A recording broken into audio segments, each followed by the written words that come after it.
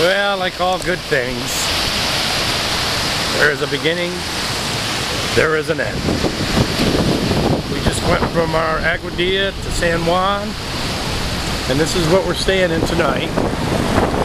Tower. There's the gang over there getting a little something to eat.